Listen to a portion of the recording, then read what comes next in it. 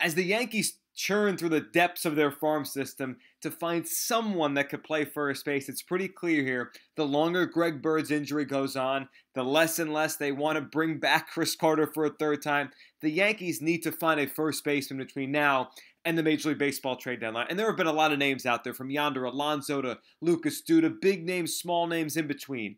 Here's an underrated name the Yankees should look to pursue between now and July 31st. Tommy Joseph of the Philadelphia Phillies. Joseph, since coming up last year, beginning of May, has popped out 35 home runs, 14 this year, 21 last year. Over the last calendar year, 27 home runs. He's not a perfect player. He's not a good defensive player. He's more of a DH, used to be a catcher.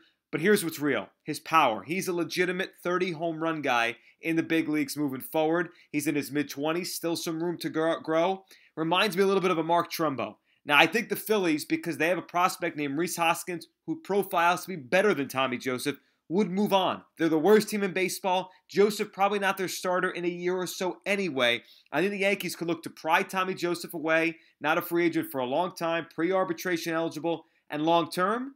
If Bird comes back this year, he could platoon lefty righty, Joseph a righty, Bird a lefty, and long term, he could be a DH, or the Yankees could move him in a separate package. Tommy Joseph, under the radar option for the Yankees at first base, coming up at this trade deadline.